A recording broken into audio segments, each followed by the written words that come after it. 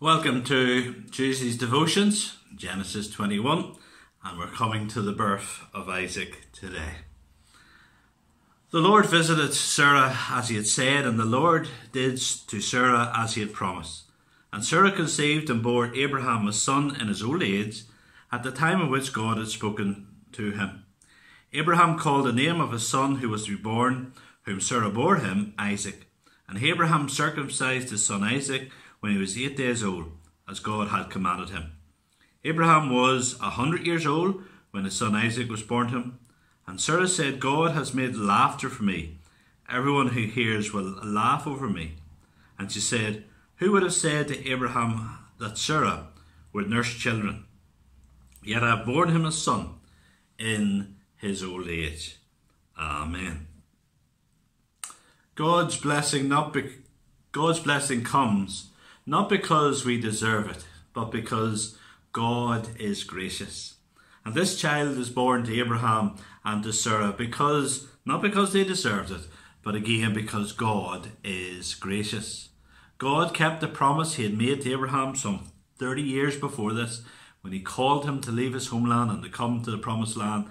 And God keeps his promises, but often God's timetable is so different from what we would want or expect. We verse in 2 Peter 3 and verse 8 9, it says that how for God a day is like a thousand years. God in eternity sees the whole course of history and looks at things differently. And where we want things done now, God has a perfect time for everything. And so, if we're waiting for something, just trust in the Lord. He, he will answer his promises in his time.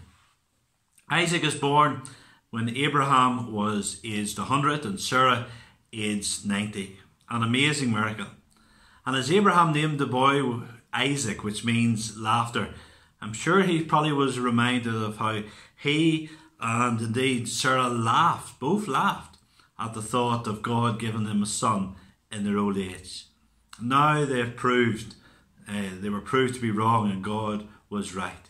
And the name Isaac Laughter just would remind them that God was able to do more than they can ever imagine. Nothing is too hard for the Lord.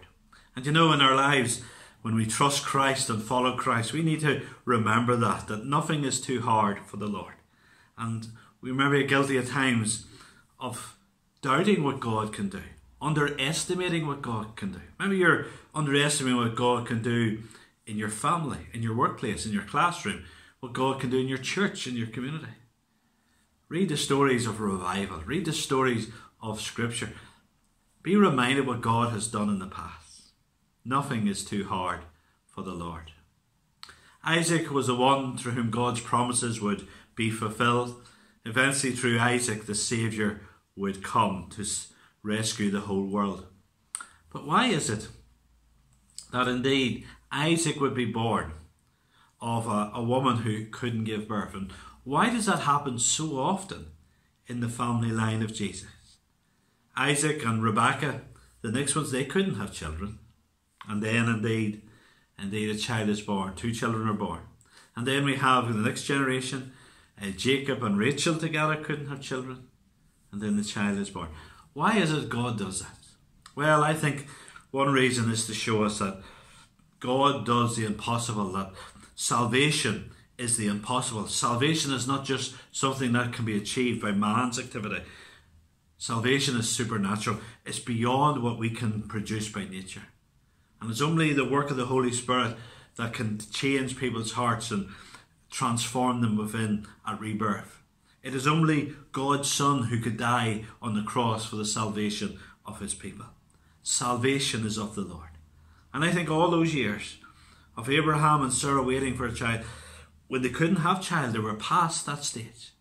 It was indeed God showing that indeed it was all of Him, all of His work. And we need to understand that as well. Salvation is not even 99% God and 1% us. It's all of God, all of grace. It's God the Father planning this work of salvation. It's God the Son dying to pay the price in full. It's God the Holy Spirit coming to change us so we then would trust in Christ. It's all of God, and to God be the praise. The passage ends with uh, Sarah speaking about her joy. uh, when Isaac is born. She is just filled with a sense of wonder. And I wonder have you that joy in knowing the Lord? Have you that joy in the, the Lord's blessing of salvation? Do have you a life of thankfulness, a, a life of thanksgiving for all that the Lord has done for you? May God give you that grace to trust Him fully. Amen.